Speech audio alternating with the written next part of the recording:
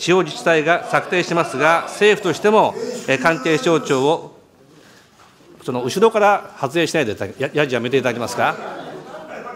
いや、いや、もうあんまりやじがあの多いんで、汚いやじが多いんで、喋りにくいものですから。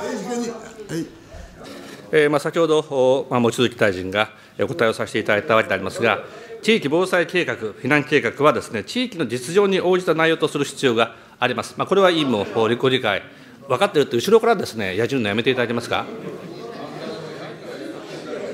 すみませんあの、静かにしてくださいよ。一生懸命答弁してるんですから。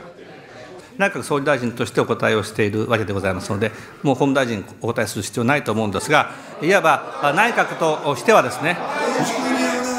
内閣としてはですね、その後ろの方で、えやじをどんどん飛ばすのはやめていただけますか、質問もよく聞こえませんし。あああいうああいうやじをですね、もうやお互いにやめましょうよ、